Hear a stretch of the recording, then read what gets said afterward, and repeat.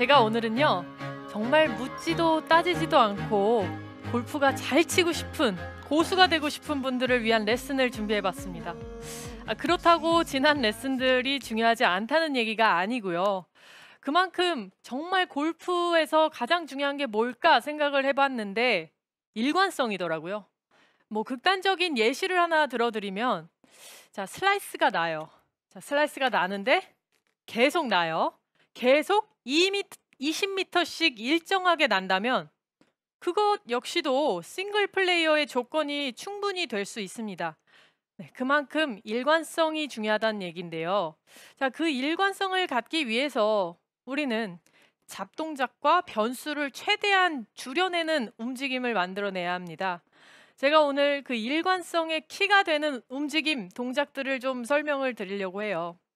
어, 우선 첫 번째는요. 몸과 팔의 싱크를 맞추는 겁니다. 몸과 팔의 싱크를 맞춘다는 건데 어, 싱크 그냥 쉽게 립싱크 생각하시면 좋을 것 같아요. 립싱크는 내가 부르는 노래는 아니지만 노래가 나오면 제가 그것과 똑같이 말을 맞추는 입을 맞추는 거잖아요. 네. 그렇죠. 그렇게 똑같이 동시에 일치시켜 주는 건데 스윙에서 몸과 팔의 싱크를 맞춘다는 것, 네 합을 같이 동시에 일치시켜 주면서 맞춘다는 걸 지금 설명을 드리고 싶은데요.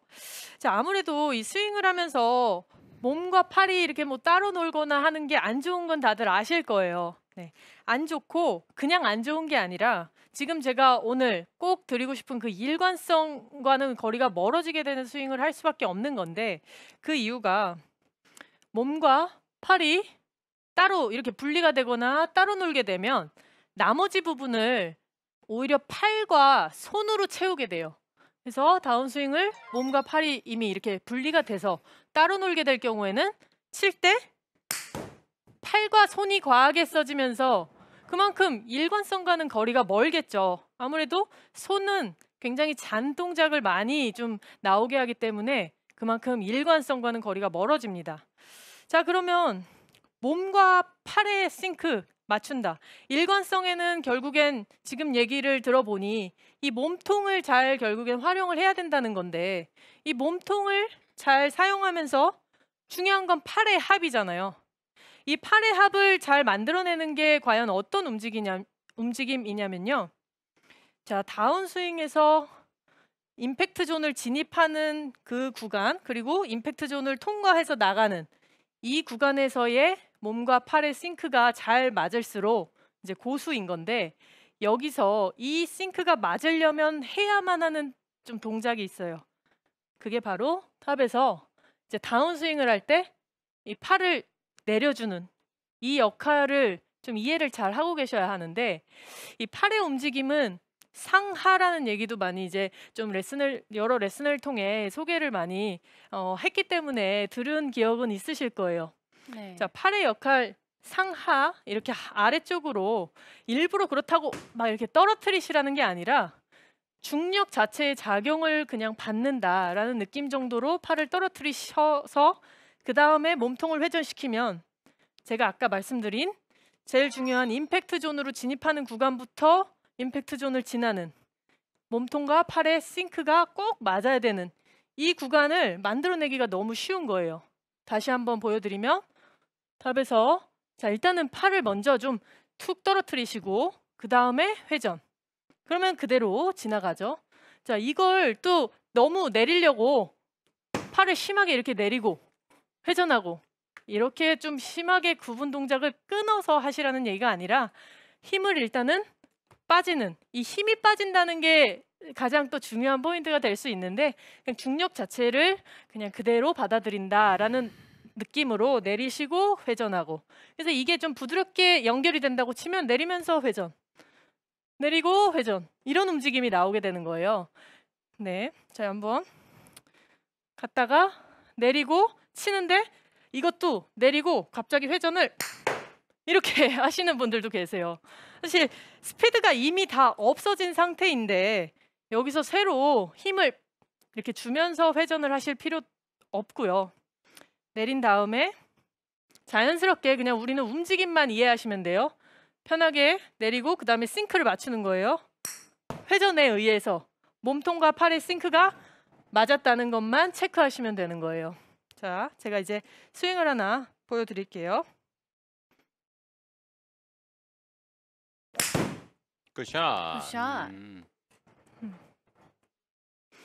네, 저희가 다시 한번 좀 이 싱크라는 단어가 사실 낯설실 수는 있는데 결국엔 순서를 일치시켜 준다 생각하시면 돼요. 어. 네. 따로 이렇게 놀면 결국엔 몸보다는 남은 이 남은 공간을 팔과 손으로 메꾸는 이런 안 좋은 움직임이 나오게 될 가능성이 굉장히 크기 때문에 가장 중요한 이 싱크를 맞춰야 하는 구간인 다운스윙의 최저점 임팩트 존을 진입하는 구간에서부터 임팩트 지나가는 구간 이 구간의 싱크만 맞는다면 사실 정말 극단적이지만 여기서 어떻게 되든 네.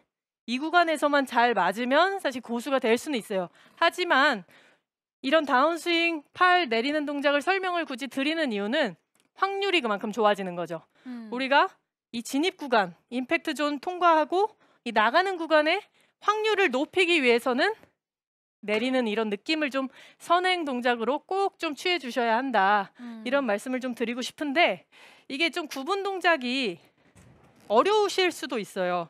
이런 어, 움직임은 좀 더 연습은 좀 많이 해주셔야 되는데 이제 보시면서 이제 이해를 조금 하신 후에 제가 이제 더 직관적으로 확 느낄 수 있는 연습법을 또 준비했죠.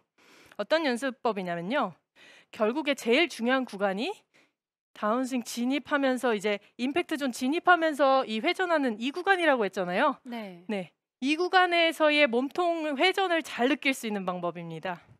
바로 스탠스를 굉장히 많이 벌리시는 거예요. 음. 어, 상당히 넓은데요. 보통의 골프 스윙의 스탠스 이 기준 틀을 아예 벗어나셔서 아주 넓게, 네, 최대한 넓게 벌려주신 상태로 회전이 안 될 거 아니에요. 그쵸.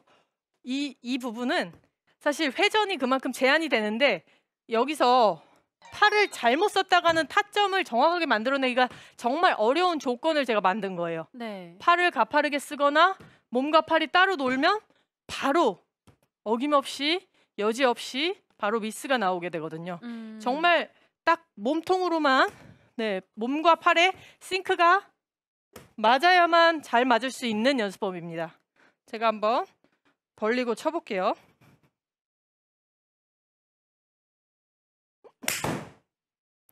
음. 그래도 네, 굿샷.